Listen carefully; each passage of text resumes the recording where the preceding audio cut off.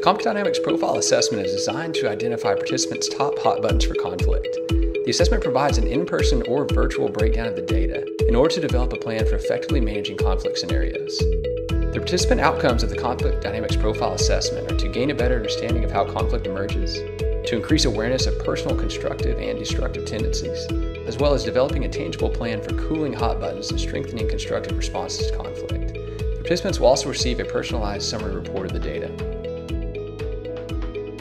Many of you have been in trainings that revolve solely around lectures.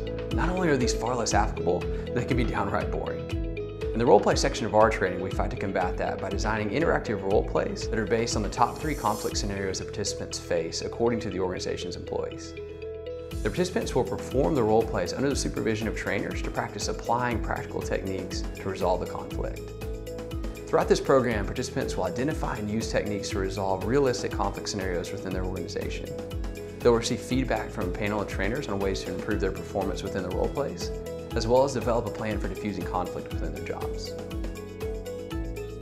The goal of RRG Consulting is to provide a continuous conflict resolution resource in your organization, and we accomplish this through the Enterprise Profile and Development Program. This program ensures personalized and continued support by allowing participants to attend, along with peers, a weekly consulting session facilitated remotely by a conflict resolution expert.